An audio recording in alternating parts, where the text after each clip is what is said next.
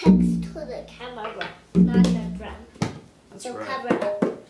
The reason we've spent three weeks practicing tuning these drums Tuning these drums.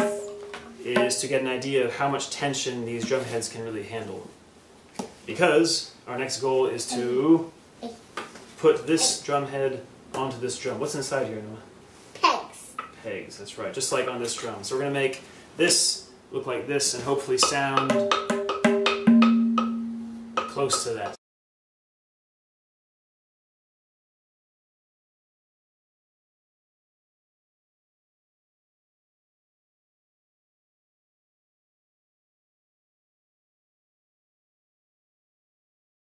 Alright, I've begun restringing the tabla, putting in the camel hide straps, going over the rim, over the ring at the bottom, right here, and then pulling it through. And it's it is pretty hard work.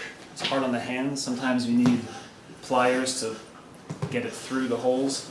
And I'm watching my video as I do it because it's tricky. He is fast, and I'm not as fast as he is. Yeah, but it's coming along.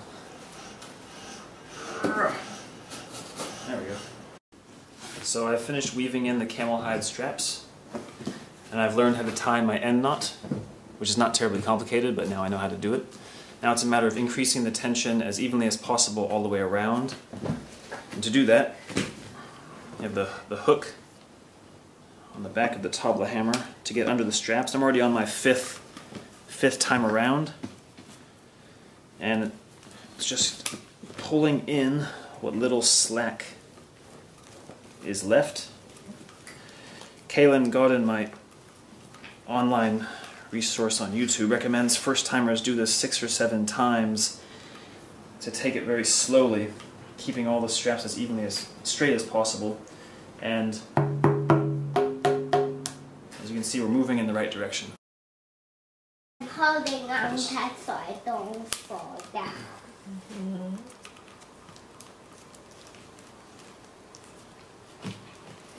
Noah got down. No, sir. Ooh. Ooh.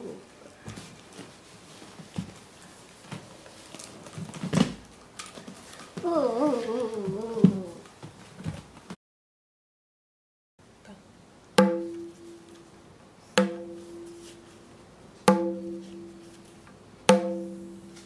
Alright, they're all pretty even. It's time to put in the pegs. This is insanely tight.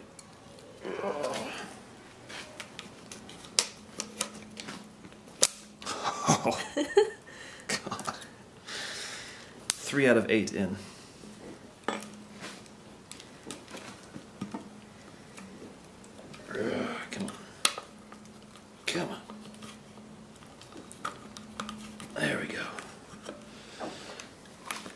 Possibly the hardest part. Although I'm not quite finished yet, so.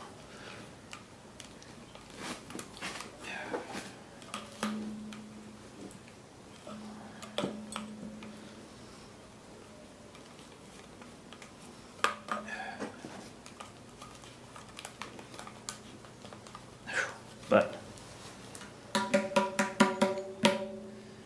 sounding better.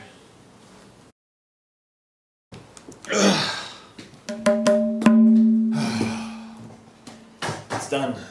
Yay. Should